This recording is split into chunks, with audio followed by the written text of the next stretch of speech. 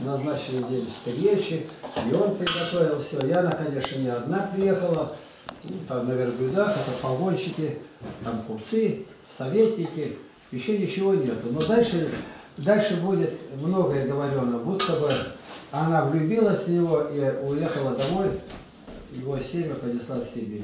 И от них пошло поколение, ну это слова, но в Библии этого ничего нету. И вот главное, она обратила внимание, царица Савская, на то, что у него за столом чинно. Она такого, видимо, не видела. Ну, заметьте, как едят люди. Вот где бы ни были, у него что? В окно, если посмотрите, ресторан, где-то вот так чашка, и все одинаково едят, вот так вот. Половину оставили, половину отправили. То есть свиньи. Ты хочешь быть скотиной, ешь как хочешь. Хочешь быть человеком, ешь как человеку положено. Почему наклоняется, когда человек, Василий Ихий говорит, каждое животное, скотина. И человек, который в чашку наклоняется, а вы их не приучили, это ваша скотина выросла. Мой дедушка как-то делал печь, одному печенье был, а ребенок там мешается, да, да ты сукин сын, вот, а он где-то останется, говорит, ну если он сукин сын, то ты кто? Это твое дитё. Он меня заставил задуматься где-то.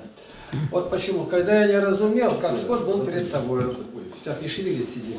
Не ходи, вот иди. Рука здесь одновременно наклоняется. Так, сюда, беда, дай чашку. Мы уже говорили об этом. Все, иди. Сиди спокойно. Все. Ты это слышал? Что, нет? Ты слышал, что наклоняться нельзя? Зачем наклонился? Ты слышал, что в левой руке вот так нужен кусочек, а на него слышал?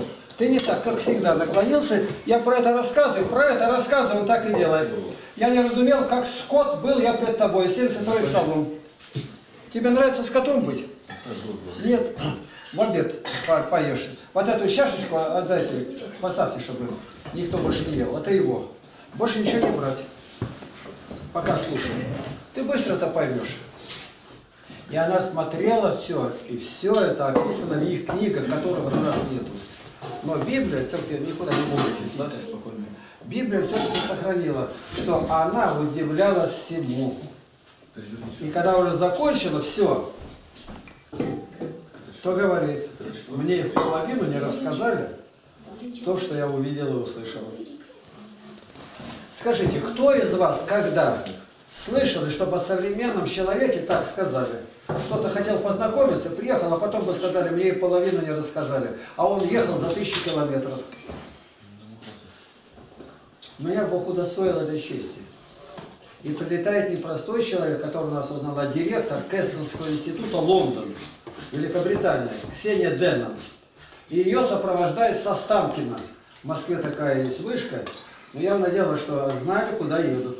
И, ну, она мне очень понравилась. Вот на кого она похожа, здесь как будто у нас никого таких нету. Вот она небольшого роста, такая сухонькая. Ну, я даже не знаю, на кого сказать. Ну, вот, раз директор, явно, что ей не 15 лет. И она, когда тут книгу взяла, книги у меня, кажется, я ее продал или подарил, сейчас не знаю. Ну, давай. На руки-то нельзя брать, но она, я ее больше не трогаю, она так со мной привыкла. И она говорит, мне и в половину не рассказали, что я здесь увидела. И приехала, такую статью написала прекрасную, там потерянное или восстановленное чуть ли не счастье в степях. Это на английском языке, а потом перевели на русский. И просто за, за, заведите Ксения Деннон. Кто она по нации, я не спросил, но Ксения говорит о том, что где-то она близко здесь. Ну, по-русски абсолютно чисто говорит. Нету никакого акцента. И директора института, какой институт, какие на этом лепешки пекут, не знаю. Но вот такое я один раз услышал. Вот этот порядок. Ты можешь этому научиться? Можешь. Я когда-то не был чтецом. Чтец это первая ступенька такая. Вот я нахожусь в Нью-Йорке в Синоде. Но женщина в алтарь входить нельзя. Женщины это знают. И они мне говорят, там ведро осталось, в прошлый раз уборщица убирала и оставила. Ведро надо достать. А ведро далеко. Я говорю, так женщине нельзя. Но вы же не женщина. Я говорю, я мирянин. 33 правило Ладикийского собора, я говорю, запрещают мирянам ходить. даже архивировать не Это вы знаете, ну что же не знать-то, я учил, а он учил в академии и не знает. Дама освещает так, я говорю, знаете как, мне не надо отрываться. Они нашли там швабру длинную, я лег животом и ползите, я не вижу сзади, чтобы мои пятки не пересекли порог. И они меня там за ноги, держите крепко, чтобы я не поднялся. Я тогда натянулся и достал, и швабры подвинул ведро и вытащил. Так это буквоедство, то другое. Буквоедство, еще дальше. Буквоедство, но в сердцах людей такое было, такая пошла молва уважения к канонам, которые поправили. Канон! Ну а что бы ты взял, что изменилось? Изменилось, в первую очередь, во мне. Отношение к канону было бы неблагоговейное. А на, на этом соборе было, допустим, 350 епископов. Мне не надо мудрить. Православному уже не надо думать ничего. Ему надо выполнять вот эти вопросы, которые освящены там. И они это запомнили. Меня привезли на свечной завод, свечи льют. А там парафин, вот такие вот, прямо такие большие плиты. И как они там делают, я посмотрел, Микринов, кажется, фамилия его. Я говорю, так это вы мерзость эту готовите. Должна быть чисто восковая свеча. Восковая. А кто говорит? Да и говорить не надо. Левитам 10.10. Чистое принадлежит чистому. А не чистое – не чистому. Это у вас не воск. И вы не имеете права называть ее восковой свечой. Есть свечи такие, которые втыкают в задний проход. Специально. Чтобы... Ну, я говорю, врач, так нет? Ну, бывает так, геморрой там или что-то прочее. Тоже свечи называется. У, в машине там зажигание где-то тоже свечи. Это свечи церковные. И они называются все сожжения жертву. Если вы считаете, что это нужно, тогда выполняйте дальше. Вы в уставе написали, свеча догорает, мигает и гаснет. У нас за 15 лет ни одного огарка нет. Ни одного. А нынче я ходил звонить на колокольню по Кровскому соборе, а рядом мешки, огромные мешки стоят, набитые вот такими огарками. Красные, зеленые, там все, мерзость. Кулись мерзостью. Это я увидел, у нас этого нет. Ну это вы как-то так понимаете, это мелочь, главное это внутри, главное сердце. Да как сердце это идет, сердце подсказывает мысли. Так, ты не думаешь, что без сердца это делается? Сердце как раз и повелело тебе мерзость эту делать. И Господь повелевает, Левитам 10.10, 10, отличайте чистое от нечистого, священное от несвященного. И об этом Серафим Саровский говорит, свеча должна быть восковая, как Антоний Великий говорит, с каждого цветка. А что такое воск? Воск это пот пчелы, она потеет, и пот засте, ну образно сказать. Специально работники, они мед не носят, а только вырабатывают материал, из которого они делают шестигранники и заливают медом. А когда мед зальешь, чтобы он не вывалился, тогда они сверху крышку делают из воска. А потом, когда надо будет выкачать мед, тогда его срезают, медогонку раскручивают, ну и по инерции этого, из нее все это вываливается, и нам мед за стол.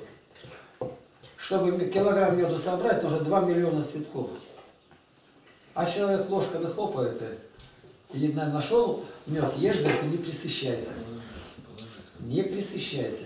Ты куда ни посмотри, везде мудрость Божье устроение, как Бог все сотворил.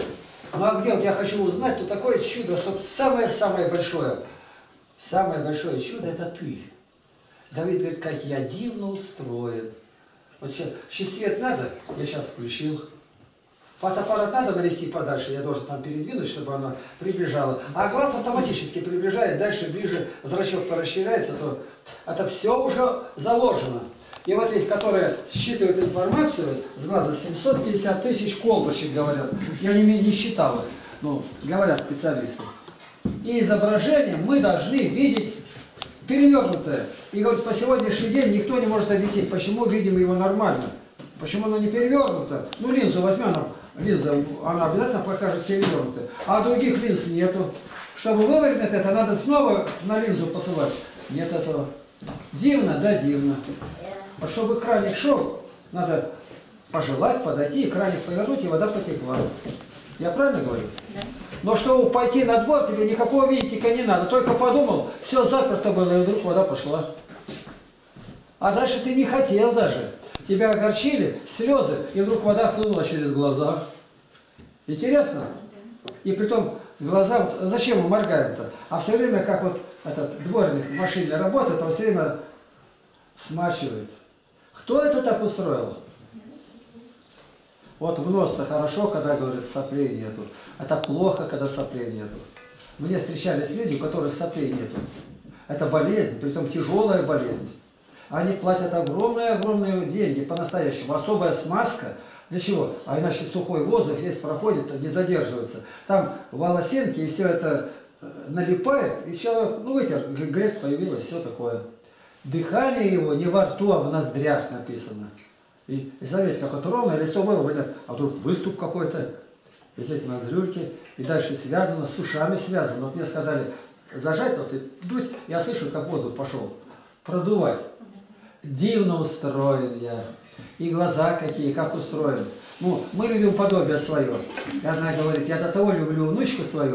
Вот дети, другие дети, это все хорошие, но моя особенная. А почему? А она похожа на нее. При меня такая же веслозадая, как она идет, и такая же походка, и рукой, ну бабка врет, на того она на меня похожа, чтобы ты любил ее. А бывает так, музыкальный отец, в нем музыка отражается. Почему Рахманинов такой умный? Откуда это все? Они, говорят, маленькие были, а у них литературные вечера собирались, и это все где-то накапливалось. Ну да где оно? Оно же уйдет. Никуда не уйдет. За 7 лет, говорят, человеческий организм полностью меняется. До одной молекулы исчезает. А обновляется, одно отмирает, чешуйки-то, ну, все остальное это. Но если у человека нет души, и все в мозгах, а мозги изменились на 100% за 7 лет, то где память-то накапливалась? А бывает память через полсотни лет о событии, о котором я ни разу не вспоминал. Ни разу. Сейчас человек здесь и говорит, а ты помнишь здесь Лушпаненко, Лешка-то был-то, как он погиб? Лешка? А какой? А весной было. Я сразу весной. А что он делал? Сусликов ловил. Ловили сусликов и ножички сами делали, такой острый, как это. На, на, так. И он его сусликов обдирал, в карман положил. А кто-то едет мимо, идем домой-то. Он сусликов эти, что, забрал, прыгнул на это, а перекладину у телеги вот так вот. Она он стала вертикально и вену сразу перерезала. А я вот такой пас на лошади. Ну, я уже большой был, лет, наверное, 6 было мне, на лошади, верхом. А я он в школе учился, я его мало, но знал. Ох, как мне тяжело было. Почему я применил к себе. Протопоп Аваку, когда было ему неполных 5 лет, он впервые увидел, как у соседа сдохла корова. И он пришел домой и горько плакал. И я ему... Есть житие такого э, Варлама и Асафа. А вот грузины выпустили, книжка называется «Балавариане». То есть это его «Жития святых». Но она большая. И вот тогда появилась она в советское время, и мы его узнали. Мы закупали все, сколько есть. 100 экземпляров, 100 и дарили другим. Там божественное все. И вот там говорится об этом. Как царь, я отклоняюсь как бы от разговора, но вернусь к этому. И вот он решил, чтобы сын его вырос смелым, сильным, не болел, и прочее. Ну, родился сын, и собрались там звездочеты и говорят, ему свет видеть нельзя до 7 лет. Если он увидит свет, он ослепнет, слава какой-то. Есть такая болезнь. Они правильно сказали, а что делать? Ну, думай еще. Он тогда сделал большие подземные, там, где ущелье, где камеры, там закрыто, светильники, там, светильники могут, но солнечный свет, чтобы не было-то. И за ним ухаживают. Как только кто заболел, его долой, другой охранник, там, ну, как у президента. Ну, этому 7 лет исполнилось, врачи осмотрели, анализ дали нормально, все. И в это время ему первая прогулка по городу. А там уже убрали, больных убрать, наркоманов, чтобы нигде не было, похороны все отменить. И он никогда другой жизни-то не видал, что такое больной, смерть, даже и не знал, от него скрывали это.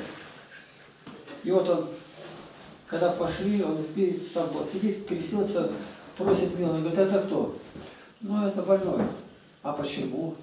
Ну, он упал со слона и повредился, и с тех пор такой. Ну, а дальше что? Ну, дальше стареть. Как стареть?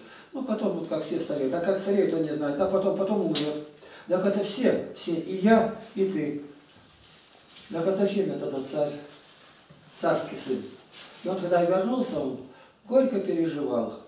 Я думаю, так же было, когда первый раз расспрашивают, вот ты видел, сколько показали тебе там девушки, там плясали перед ними, а, вот, что тебе больше всего понравилось? А когда они плясали, он говорит, а это кто? А ему отвечали, это чертовки, которые соблазняют мужчин. Всему женскому роду чертовки. И когда вернулись, спросили, а кто тебе, что больше всего понравилось, вот эти чертовки, они мне больше всех понравились. Он не знает какое-то слово, что означает, но он уже понял, где. И в конечном счете его доброе сердце нашло себе учителя из пустыни пришел и стал говорить, у меня есть лекарство, он приболел, и говорит, у меня есть лекарство, которое вылечит его. Дальше допустили до него, они не поняли, что это проповедник. Он стал говорить, он обратился, покаялся. И далее, как он обратился, какая была жизнь. И совершил он громадную ошибку. Его народ так любил. Его, а его соблазнил этот, который был-то, в, в Орлам-то. И он пошел за ним в пустыню. И весь народ, вся Индия двинулась. Индия-то христианская была бы. Монах его соблазнил. Народ плачет, не отпускает, он ушел, так и ушел. Блуждал, блуждал целый год по пустыне нашел его учителя. У него учитель заменил все собою. Все, что только есть на земле. И ни Евангелия, ничего не знал. Вот такое житие. Так, мы с чего начали? Ну, как вы помните? По поводу э, э, еды говорили. Мы начали говорить по, по поводу этой юноши. Как важно знать порядок, чинность, ложиться царская, как а так как где-то щукарь начнет говорить, вот эта старина, и туда вернет, говорит, ты ну, меня не достали жден был ты. Вот. Я рассказываю о том, потому что это событие как-то вплетается в наше событие. За столом щи. Ну, видите, чашечки опрокинуты, все. Какой осадок? Никакого. Ну-ка, где этот проб у меня был? Иди сюда. Илья, подойди. Илья на выход. На выход. Так, рассказывай, как фамилия? Гром, громче. Чернов, А как звать? Илья, Илья. Сколько тебе лет? девять. Зачем ты на стол заклонился сегодня? Опять оперся. Ну, вы говорили, что нельзя, лак- ну, это, дальше кистей, но я забыл. Ты, да, да ты просто лег. Ты видел, что нужно в левой руке кусочек, в другой, а ты эту руку-то другой, а одной начал в чашку склонился. А это зачем?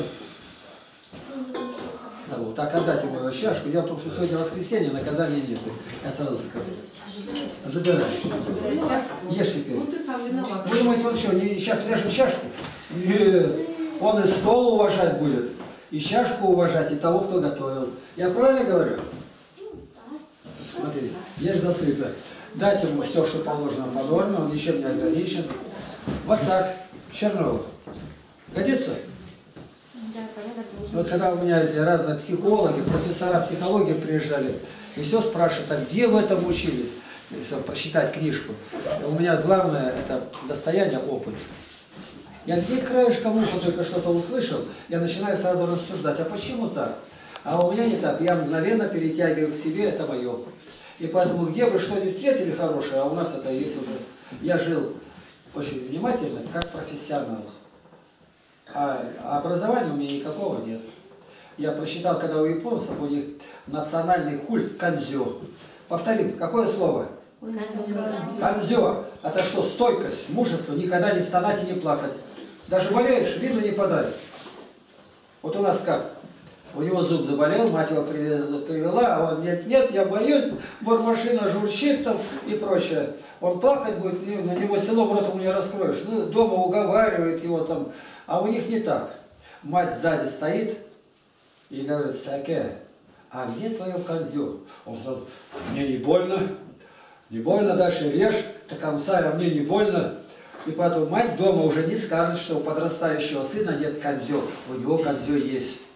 В другом месте показано, там у мужчины что-то не ладится, Япония стоит, и киоск торгует она газетами, а он разозлился, что-то не так, как вспомнит, да как ударит по этому, а киоск вот так вот, и народ берет, на него все смотрят, а он этого не видит, он как вспомнит, что жена там сделала, да она его унизила, он да еще как ударит, а это у него конурка-то у нее, а народ на него презирает. Почему?